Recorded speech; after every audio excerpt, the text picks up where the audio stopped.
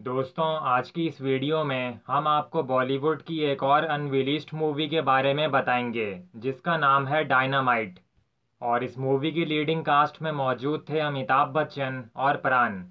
इसके अलावा इस फ़िल्म की कहानी लिखी थी इंदर राज आनंद ने और इस फ़िल्म को म्यूज़िक दिया था राजेश रोशन ने। इसके अलावा इस फ़िल्म के डायरेक्टर थे टीनू आनंद और इस फ़िल्म के प्रोड्यूसर थे टोनी जुनेजा। तो दोस्तों, ये बात है साल 1982 की, जब इस फ़िल्म को अनाउंस किया गया था।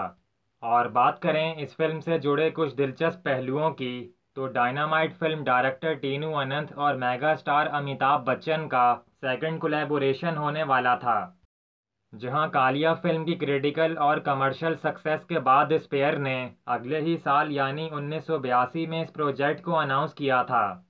और अनाउंसमेंट के बाद इस फ़िल्म के एक्साइटिंग पोस्टर्स भी रिलीज़ किए गए थे, जिससे ये बात तो साबित हो ही जाती है कि Dynamite film director Tinu Anand का एक पैशनेट प्रोजेक्ट था।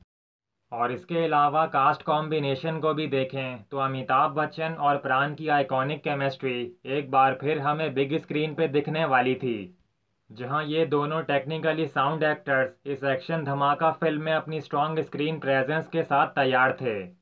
मगर अनफॉर्चुनेटली ये फ़िल्म अननोन रीजंस की वजह से प्री प्रोडक्शन स्टेज पे ही रोक दी गई थी, जिसकी असल वजह भी ऑफिशियली सामने ही नहीं आई थी, और फिर ये पोटेंशियल प्रोजेक्ट अल्टीमेटली शेल्फ कर दिया गया था।